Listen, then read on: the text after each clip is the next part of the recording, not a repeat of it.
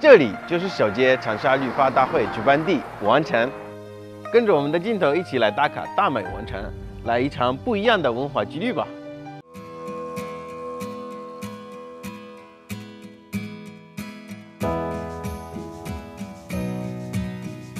大家好，我是默默，今天我来到了有千年历史的潼关古街，跟我一起来关古街、上陶艺吧。潼关古街城南北走向，长约一千两百米，依山傍水，青石红砖。古街两边各类陶瓷工艺品琳琅满目，陶瓷工艺品体验馆比比皆是。这不全是长沙潼关文化下的深厚底蕴，也是留给后人的精神宝藏。Hello。看这这黑色的这个，这个陶瓷本来就是什么呢？就是灿烂，就是中国的意思嘛。通过有当地居民的交谈以及查阅资料，了解到潼关窑产品在当时畅销二十九个国家和地区，是中国五大陶都之一。一九九八年。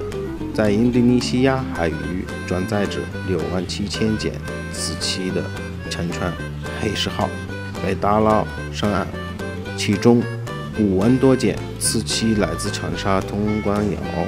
黑石号的考古发现震惊世界，通关窑因此广为人知。我刚刚在这条老街上溜达了一圈，发现了不少好看的又神奇的。陶瓷器具和工艺品。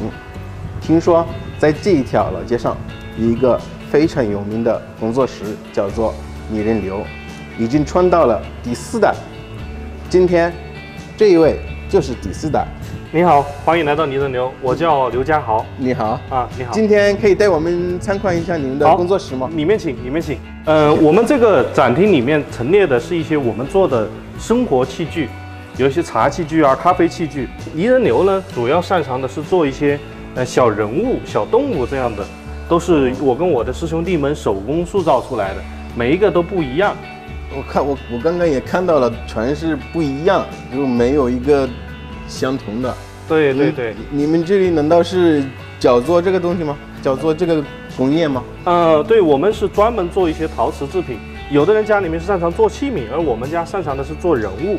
呃，然后呢？我我还是很好奇，你们这个手工你们在哪里做的？啊呃，我接下来可以带您体验一下，我们可以手工做一个小器皿。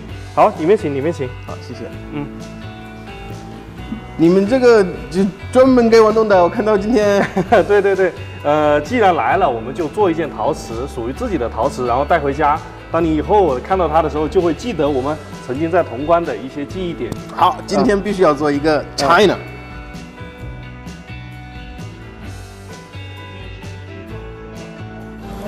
你手也可以放上去，是这样捧着，是要让它好好多泥在中间是吗？对对对对，捧住啊，感受一下，中间掏进去。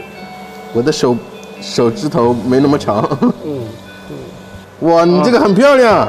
平时的陶瓷器具就都是通过这样的工艺一件一件做出来的。你的手还很稳啊。很多人第一次来，我这是做不好的。我这只是因为老师教的好。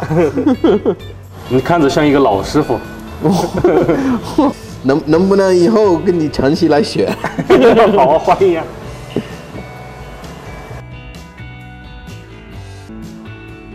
长沙窑在陶瓷史上有一个开创性，在那之前，我们中国的陶瓷乃至全球的陶瓷，它是没有嗯高温釉下彩瓷的。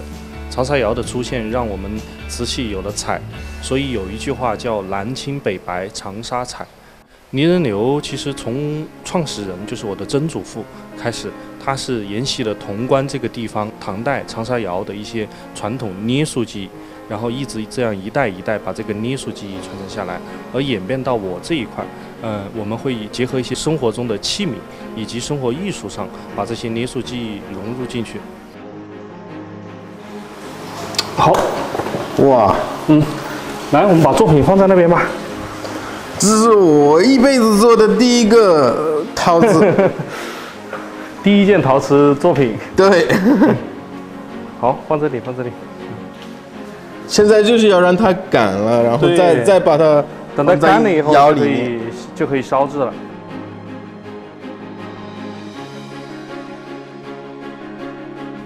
通过体验与学习，我了解到了沿袭紫檀带的传统制陶技艺，感受到了当地通关文化新津火圈的晋升。传统技艺与现代文明的融合，让这座陶瓷古街更具生命力。